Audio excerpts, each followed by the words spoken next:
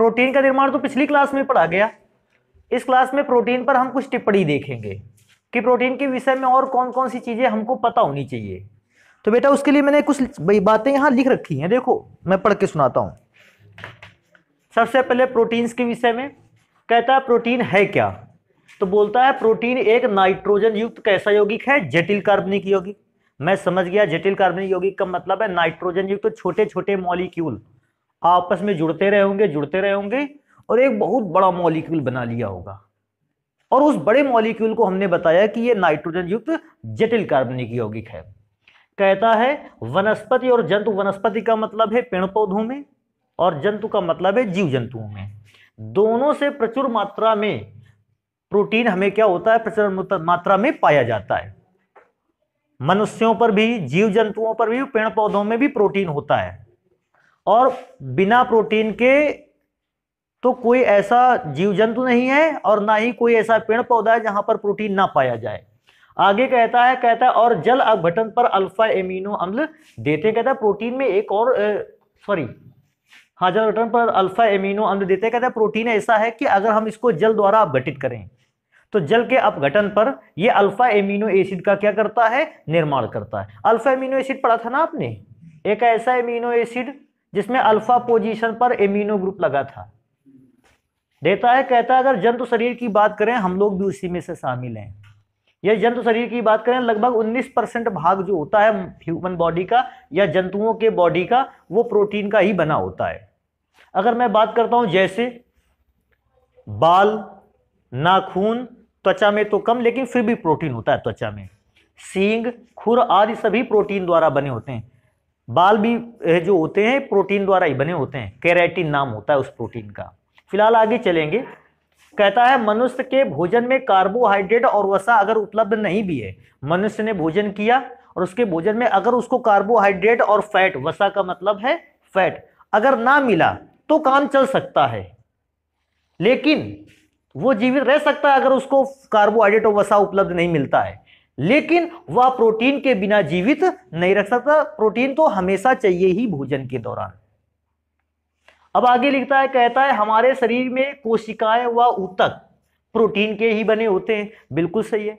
अगर बेटा आप भोजन के दौरान प्रोटीन ग्रहण नहीं करोगे, आपको प्रोटीन नहीं मिलेगा तो आपका जो बॉडी होगा वो टिश्यू, ऊतक और कोशिकाओं का मतलब सेल बनाना बंद कर देगा। तो हमें इसलिए बहुत ज़रूरी है कि हमें हर हालत में प्रोटीन चाहिए। क्यों? क्योंकि टिश्यू और सेल्स दोनों लगातार बनाते रहने चाहिए बॉडी को। और वो दोनों कैसे बना पाएगा बॉडी? जब उसके पास क्या होगा? प्रोटीन। आगे लिखता है, कहता है, जो कार्य करने में नष्ट हो जाते हैं, ऐसा भी है कि हमारे शरीर के सेल और ऊतक जब हम कार्य करते हैं तो हमारे शरीर के सेल क्या होते हैं? नष्ट हो जाते हैं। अगर शरीर के सेल नष्ट हो जाते हैं तो कहता है, अतः नए ऊतकों के निर्माण के लिए भोजन में प्रोटीन का आवश्यक होना ज़रूरी है।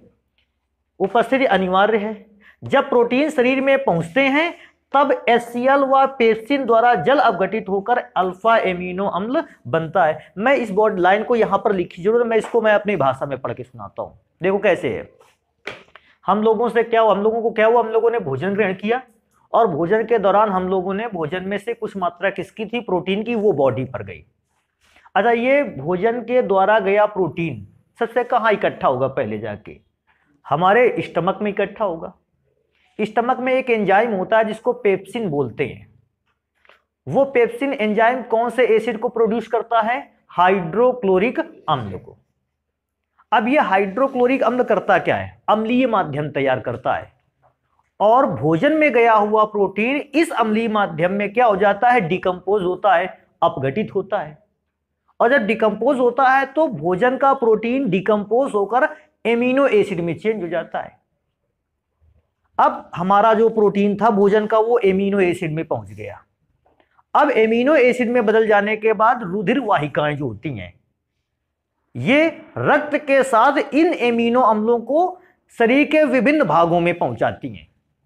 ब्लड के साथ ये एमिनो अम्ल शरीर के डिफरेंट टाइप के भागों में पहुँच गया।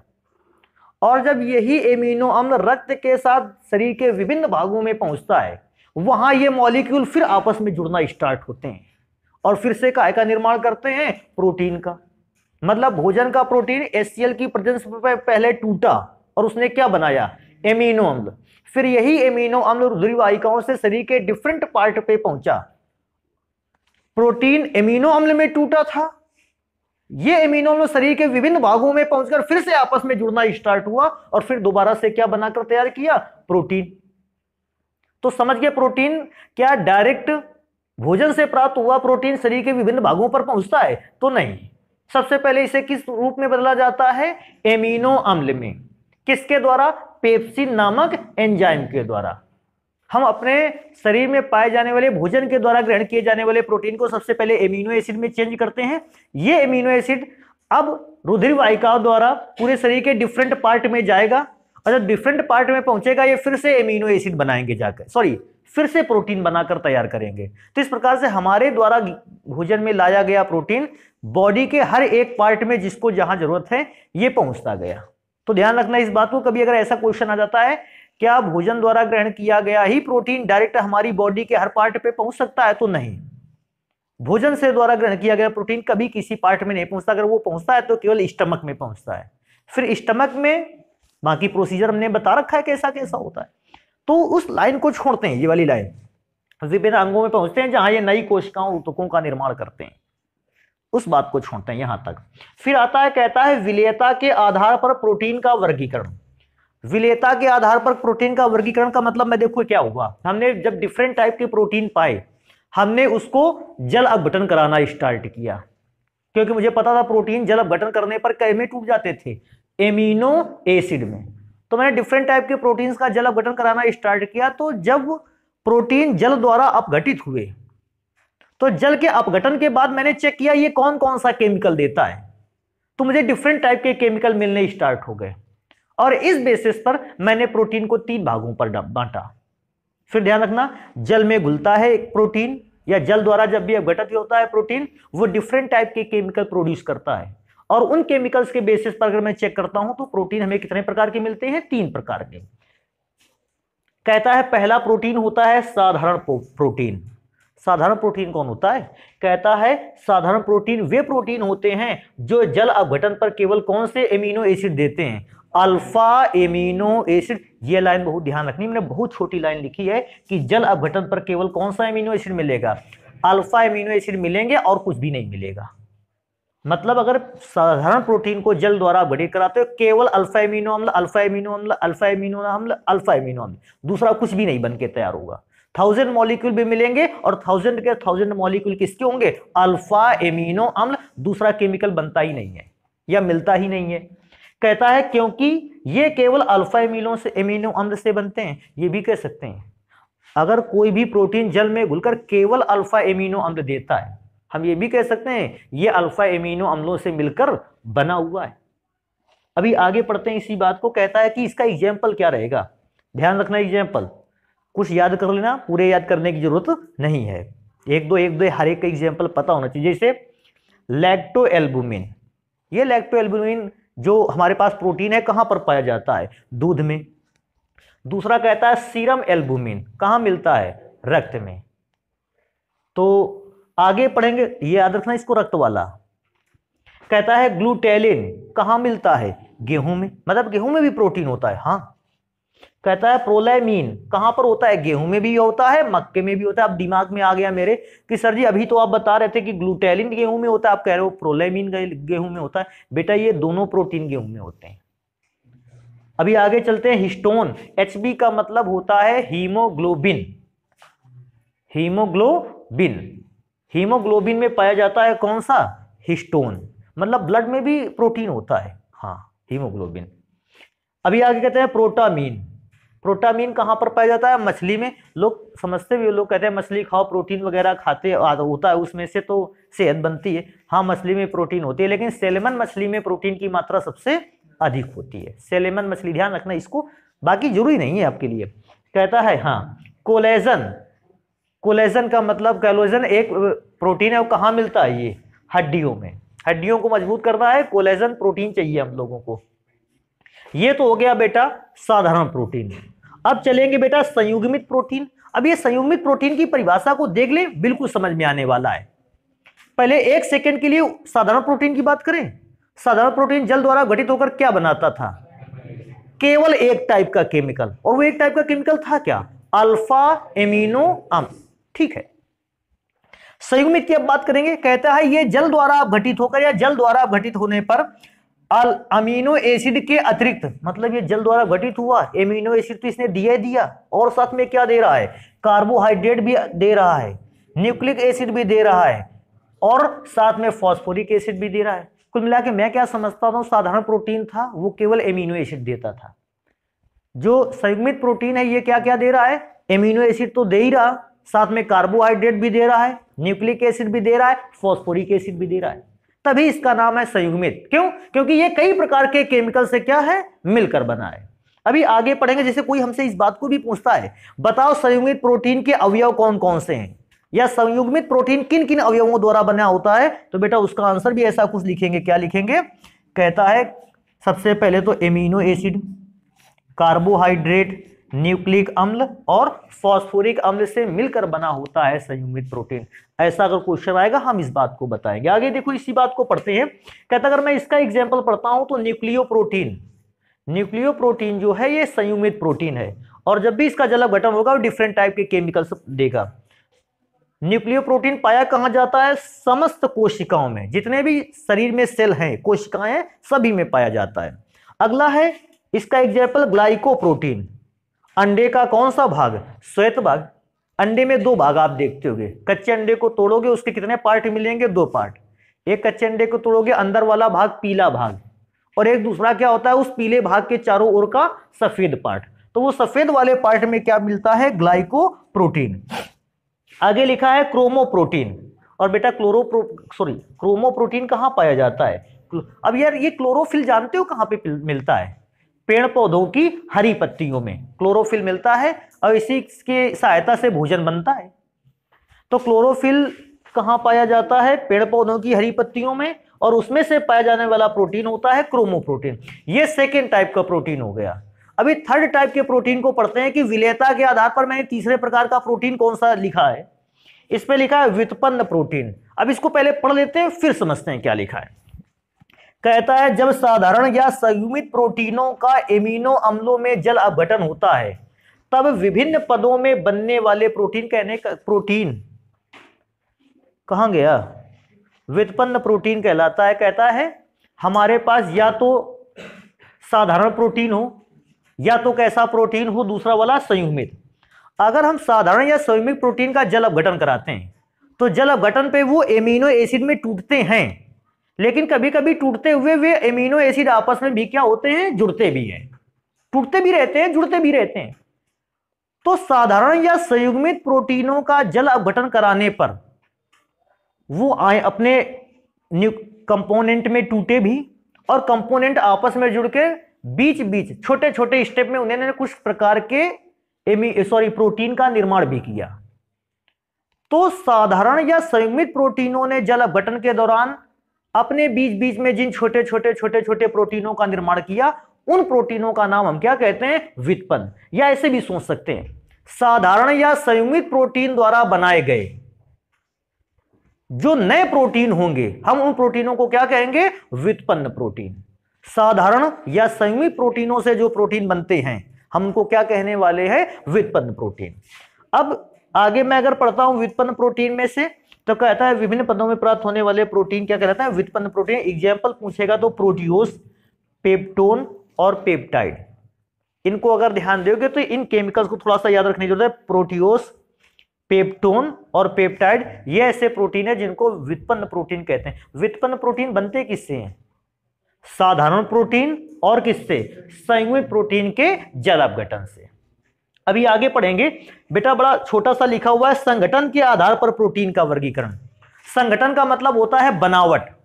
बनावट के बेसिस पर प्रोटीन दो प्रकार के होते हैं। एक, रेशेदार प्रोटीन, जिसको हम अगर पढ़ें तो बोलता क्या है? यहाँ लिखा है, कहता है कहता है, इनके लंबे लंबे धागेदार अणु। बेटा, इनके जितने भी इन प्रोटीन के अणु होते हैं, वो एक सीधी श्रृंखला में जुड़े होते हैं। जब सारे प्रोटीन के मॉलिक्यूल एक सॉरी अल्फ़ा एमिनो एसिड के मॉलिक्यूल एक सीधी श्रृंखला में जुड़े होंगे तो बेटा प्रोटीन की संरचना भी कैसी होगी? सीधी। और सीधी संरचना को ही तो आप क्या कहते हो? रेशेदार संरचना। फिर एक बार दोबारा से मैं रिपीट कर देता हूँ। जो रेशेदार प्रोटीन होता है, इसमें से जो मॉलिक्यूल होते हैं, वो एक दूसरे के साथ जुड़ते हैं कैसी श्रृंखला में? सीधी श्रृंखला में, जिसको पार्श्व श्रृंखला भी कहते हैं। एक सीधी श्रृंखला में अगर सारे के सारे अणु मॉलिक्यूल जुड़ते चले गए मॉलिक्यूल जुड़ते चले गए तो हमें एक सीधी श्रृंखला मिली, जिसे हमने कहा यह तो रेशेदार आकृति में है।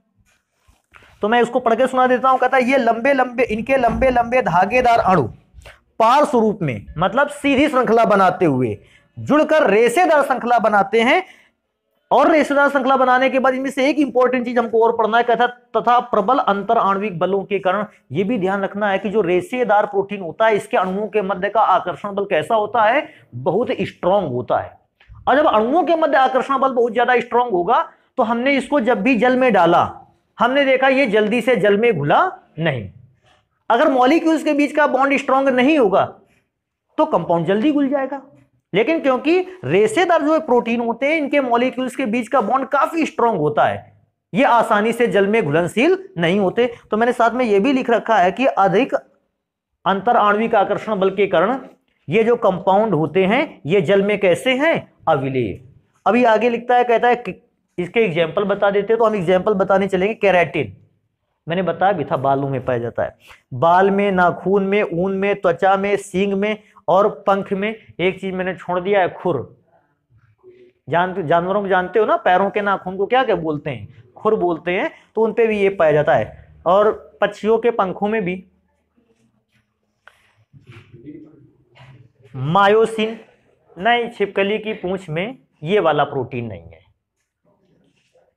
तो ये वाला प्रोटीन केवल खुर, सींग, अगर सींगे होंगी तो जानते हो।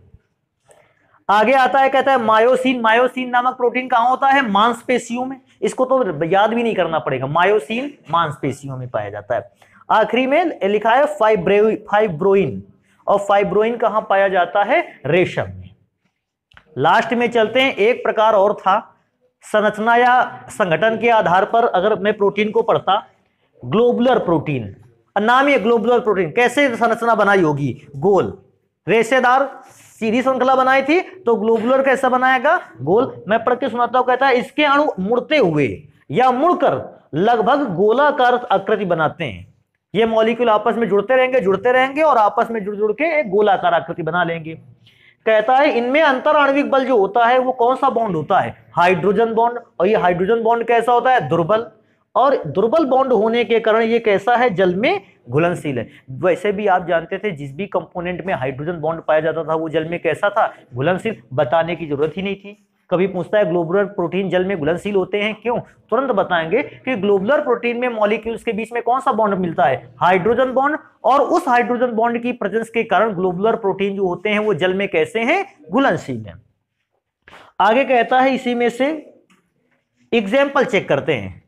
इंसुलिन। इंसुलिन जल में घुलनशील है। कभी कभी क्या होता है, हमारे शरीर में कार्बोहाइड्रेट की वैल्यू ब्लड में बढ़ जाती है, रक्त में। तो अब रक्त में बढ़े हुए कार्बोहाइड्रेट की वैल्यू को, जिसको शुगर वैल्यू कहते हैं, वो बढ़ गई। आपने कहा डायबिटीज़ बढ़ गया है। तो उस डायबिटीज़ को आप क्या करेंगे? इंसुलिन के थ्रू। इंसुलिन एक ऐसा प्रोटीन होगा, जो हम अपनी बॉडी पे क्या करेंगे? इंजेक्ट करेंगे। और ये बॉडी में पानी, रक्त सब में घुलते हुए कार्बोहाइड्रेट की उस एक्स्ट्रा अमाउंट को, जो रक्त में घुली थी, उसको क्या करेगा? कम करेगा। और कम करते हुए एक निश्चित वैल्यू पर क्या करके ले ले आएगा। अगर बेटा ये रक्त में ना घुलता, पानी में ना घुलता तो ये कार्बोहाइड्रेट की वैल्यू को कम नहीं कर सकता। तो इंसुलिन जो होता है, ये शुगर की दवा है, इसको कहते हैं डायबिटीज़ की। लेकिन इंसुलिन का यूज़ तब किया जाता है जब मानव शरीर में कार्बोहाइड्रेट की बहुत ज़्यादा मात्रा शरीर में, हमारे ब्लड में उपस्थित हो। छोटी मोटी मात्रा तो हम दवाओं के थ्रू उसको क्या कर सकते हैं? कम कर सकते हैं। इंसुलिन का इंजेक्शन तो काफ़ी ज़्यादा फिर कॉम्प्लेक्स सिचुएशन पर ही लगता है। आगे लिखते हैं। कहता है, थायरोग्लोबिन, ये भी एक प्रकार का ऐसा प्रोटीन है जो ग्लोबुलर है। आगे, हीमोग्लोबिन, बताने की ज़रूरत ही नहीं है। हीमोग्लोबिन कहाँ पर है? रक्त में। अभी आगे एक और चीज़ है फाइब्री फाइब्रिनोजन ये भी प्रोटीन है जो जल में घुलनशील है ग्लोबुलर प्रोटीन है, संरचना कैसी होगी? गोलाकार। तो मैं जैसे पूछता हूँ कि रेशेदार प्रोटीन जो होता है, वो जल में घुलनशील होता है कि नहीं होता है?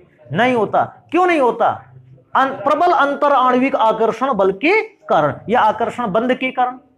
और ग्लोबुलर प्रोटीन होता है, वो जल में कैसा होता है? घुलनशील। इसको नोट करते हैं, फिर आगे की चीज़ें पढ़ते हैं। बेटा प्रोटीनों के प्रकार पढ़ने के बाद, अब हम स्टार्ट करेंगे कि प्रोटीनों की संरचना, प्रोटीन की बनावट कैसी होती है। तो बेटा अगर मैं चेक करूँ तो प्रोटीन की बनावट को तो कई भागों में बांटा गया है। उनमें से मैं सबसे पहले पढ़ता हूँ कि प्रोटीन की प्राथमिक संरचना क्या है। अभी द्वितीय संरचना भी है इसकी प्रोटीन की तो सबसे पहले स्टार्ट करेंगे कि प्राथमिक संरचना क्या है। मैंने लिखा है प्रोटीन की जो संरचना होती है, या ऐसा मैं लिख सकता हूँ कि प्राथमिक संरचना। कहता है जब विभिन्न प्रकार के एमिनो एसिड ध्यान रखना है सेम टाइप के एमिनो एसिड की बात नहीं हो रही है, जब विभिन्न प्रकार के एमिनो एसिड एक निश्चित क्रम में जुड़कर, एक निश्चित क्रम में जुड़ते हैं और तब श्रृंखला का निर्माण करते हैं। अगर कई सारे एमिनो एसिड जो हैं, वो जो डिफरेंट टाइप के एमिनो एसिड है, अगर आपस में जुड़े, वो भी कैसे क्रम में जुड़े? एक निश्चित क्रम में जुड़े। तो एक निश्चित पैटर्न में जुड़ते हुए जो भी श्रृंखला या संरचना बनाकर तैयार करते हैं, हम उस संरचना को प्रोटीन की कौन सी संरचना बोलते हैं? प्राथमिक। अभी चेक करेंगे कि प्राथमिक संरचना को बना कैसे सकते हैं। इंपॉर्टेंट तो यही है कि प्राथमिक संरचना को बनाएँगे कैसे। तो चेक करेंगे।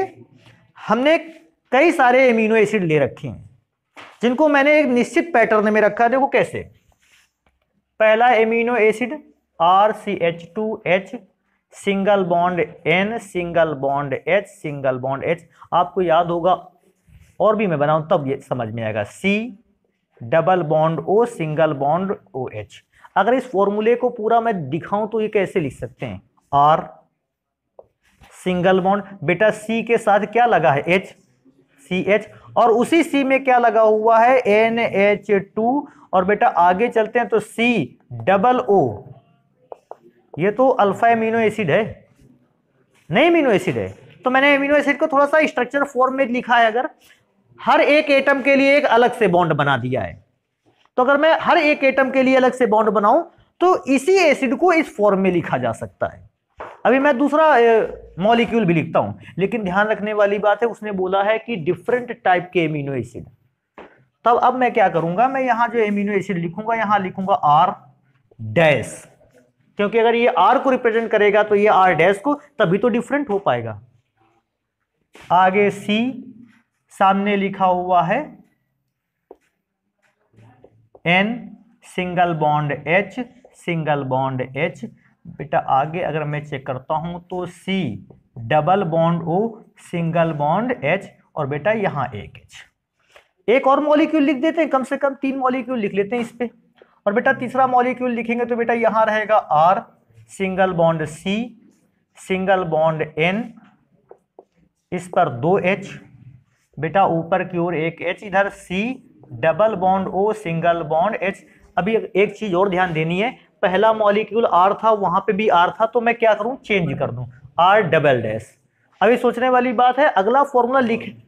पहला फॉर्मूला तीसरे से मैच कर रहा है सिमिलर है। देखो आर ऊपर था तो आर डैश डबल डैश ऊपर है। अब जो इसके बाद मॉलिक्यूल आएगा, वो इससे मैच करेगा। फिर उसके बाद जो मॉलिक्यूल मतलब one three five seven nine, ये मॉलिक्यूल सिमिलर रहेंगे। सेम नहीं रहने हैं सिमिलर और two four six eight ten ये मॉलिक्यूल सिमिलर रहने वाले हैं। अब हमने सब इन का क्या करवाया? संघनन। अब संघनन क्या होता है? जब कई सारे केमिकल आपस में मिलें, जुड़ें और इस दौरान जल का निर्माण भी करें, हम ऐसे विक्रिया को क्या कहते हैं? संघनन। तो वैसा संघनन कैसे होगा? देखो, ध्यान देने वाली बात है। ये वाला ओ OH इसके कहे से विक्रिया करेगा? एस से। सेम चीज़ ये वाला ओ OH NH2 के H से विक्रिया करेगा। अभी आप समझ गए होंगे, ये वाला ओ OH किससे विक्रिया करेगा? अपने से आगे रखे एच से। ये वाला अपने से आगे रखे काहे से विक्रिया कर लेगा? एच से। अच्छा विक्रिया यहाँ होगी कि नहीं होगी इस पर होगी। NH2 इसके पहले रखे हुए काहे से विक्रिया करेगा? ओ OH से। वहाँ जहाँ ओ एच होगा उससे विक्रिया कर लेगा। मैं चेक करूँगा बन, बना क्या मेरे पास। तो एक काम करते हैं यहाँ इसको बनाकर देखते हैं। बेटा वहाँ रखना कठिन रहेगा। क्यों? जगह उतनी है नहीं तो मैं इसको नीचे लिख के दिखाता हूँ कैसे बनेगा। सबसे पहले R single bond C single bond H single bond C double bond O और बेटा यहाँ मैंने लिखा एन सिंगल बॉन्ड एच और ये वाला बॉन्ड अगले वाले से जुड़ गया होगा। अभी यहाँ का एच नहीं लिखा, ये एच चला गया। ओ एच के साथ क्या बनाते हुए? जल। आगे भी ऐसी श्रृंखला जुड़ी होगी। अभी आगे चलेंगे इस बात को। सी के साथ जो बॉन्ड था, वो सी के साथ जाने वाला बॉन्ड ओ और एच आपस में जुड़ गए। तो ये सी वाला बॉन्ड किससे कनेक्ट होगा? एन से। ये सी वाला बॉन्ड कनेक्ट होगा जाके एन से। तो एन से जुड़ा। एन के साथ एक एच है। यहाँ सी है। इधर आर डैश है। इधर एच है। बेटा ऊपर चलेंगे सी डबल बॉन्ड ओ और ये आप ये भी तो ध्यान रखो ओ एच किसके साथ निकल गया था? एच के साथ। इधर ये वाला बॉन्ड सी का खाली हुआ, इधर किसका बॉन्ड खाली हुआ? एन का। तो सी वाला बॉन्ड किससे जुड़ना चाहिए? एन से। मैं थोड़ा सा इसको अच्छा बनाता हूँ। सी वाला बॉन्ड जुड़ना चाहिए एन से। आगे मैं केमिकल की बात करूँगा। आर डैश कर लेते हैं इसको। सी ऊपर की ओर एच यहाँ देखोगे सी डबल बॉन्ड ओ और ये वाला बॉन्ड आगे जुड़ गया होगा। इधर की ओर आर डबल डैश। ये स्ट्रक्चर इधर पीछे की ओर बढ़ता चला जाएगा, ये स्ट्रक्चर आगे की ओर निकलता चला जाएगा।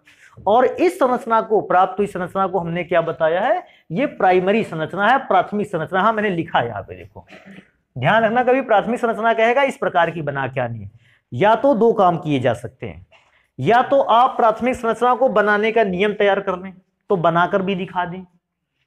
अगर नहीं तैयार कर सकते तो आप इतनी चीज़ को तैयार करके रखें। संरचना मांगी थी ना तो संरचना ये है। इससे क्या होता है, बच्चा बनाना भी जान जाता है, उसको पता चल जाता है बनाया कैसे गया तो उसके लिए थोड़ी सी आसानी भी हो जाती है। कोई पूछेगा भी कि अल्फ़ा, सॉरी, प्राथमिक संरचना को बनाकर दिखाइए तो उसने, अगर उसको रिएक्टेंट याद है लिखने का तरीका तो प्रोडक्ट को आसानी से लिख सकता है। डायरेक्ट प्रोडक्ट का मिलना तो आदमी सोचता है कि अभी ये कैसे बनाकर तैयार किया, ये कठिन है। तो आप चाहें तो आप केवल स्ट्रक्चर आपसे डिमांड आएगी। प्राइमरी संरचना क्या होती है? ये बात लिखेंगे। स्ट्रक्चर कैसा होता है? ये स्ट्रक्चर बनाकर तैयार करेंगे। इसको नोट करेंगे सेकेंडरी स्ट्रक्चर को पढ़ेंगे फिर इसके बाद। अब आता है कि प्रोटीन की द्वितीय संरचना। तो बेटा प्रोटीन की द्वितीय संरचनाओं में से भी कई संरचनाएँ हैं। और प्रोटीन की द्वितीय संरचना में से मैं कौन सी संरचना को पढ़ूँगा? अल्फ़ा हेलिक्स स्ट्रक्चर को।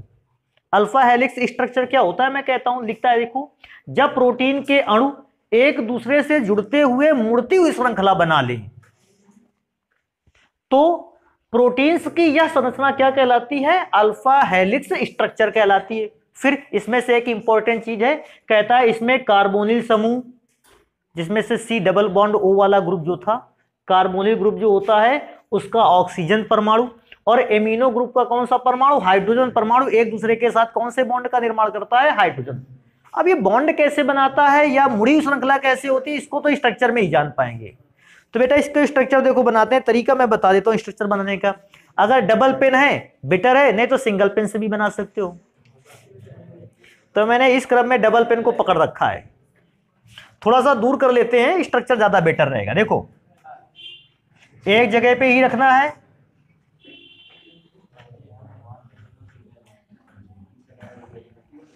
तो ये बेटा हो गया। सबसे पहले तो ये स्ट्रक्चर मैंने बनाकर तैयार किया। अभी स्ट्रक्चर के कुछ पार्ट को देखो, मैं दिखाता हूँ। ये इंटरनल अंदर वाला पार्ट है। फिर यहाँ ये इंटरनल पार्ट है।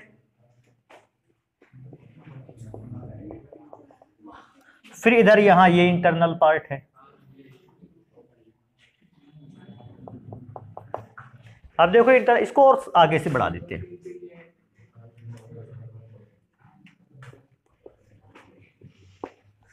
ये पट्टे की तरह है, बिल्कुल बेल्ट जैसे नहीं होती, मुड़ी हुई। उस टाइप में इसको बनाया गया है तो देखो ऐसा होता क्या है? बीच में एक श्रृंखला छोड़कर, देखो, यहाँ पर प्रेजेंट है सी डबल बॉन्ड ओ और यहाँ पर ये यहाँ से बनाना है अगर तो इस संरचना को छोड़ेंगे अल्टरनेट पे आएँगे। इसके बीच में श्रृंखला का ये भाग बचा, इसको छोड़ेंगे, नीचे वाले भाग पर आएँगे।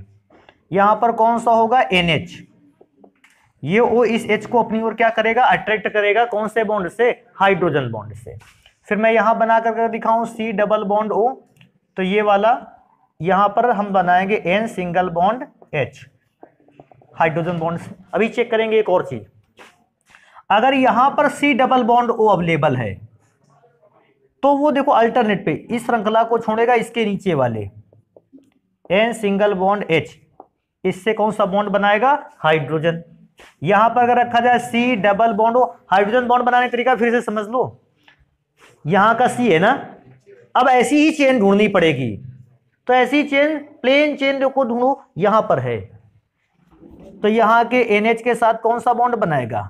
हाइड्रोजन बॉन्ड, मैंने हाइड्रोजन बॉन्ड बनाया।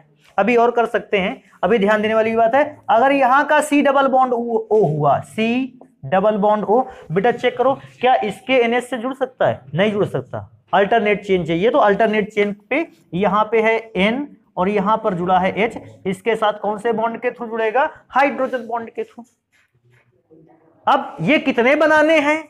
तो बेटा होते तो बहुत सारे हैं बॉन्ड करोड़ों की संख्या में, लाखों की संख्या में, लेकिन आप उतने बॉन्ड तो बनाओगे नहीं। तो आपको कुछ बॉन्ड केवल बनाकर क्या कर देने हैं? दिखा देने। तो इस स्ट्रक्चर को कहते हैं अल्फ़ा हेलिक्स स्ट्रक्चर बनाने का तरीका मैं दोबारा से रिपीट कर देता हूँ। आपको दो पेन लेने हैं जो एक दूसरे से, जिनकी निब थोड़ी सी डिस्टेंस पे है। दोनों को बैलेंस करना है। स्ट्रक्चर बना लेना है आपको। अब इस पर बॉन्ड केवल दिखाने हैं। ये थोड़ा सा चेन बना देना ताकि पता चलती रहे कि ये कौन सी चेन किससे। सिमिलर डैश डैश वाला डैश डैश वाले के साथ कनेक्टिविटी बनाएगा। प्लेन भाग प्लेन भाग के साथ कनेक्टिविटी को दिखाएगा। इसको नोट कर लेते हैं। फिर प्रोटीन से जुड़ी हुई बातें पढ़ते हैं। बाकी नेक्स्ट क्लास पे फिर इसको।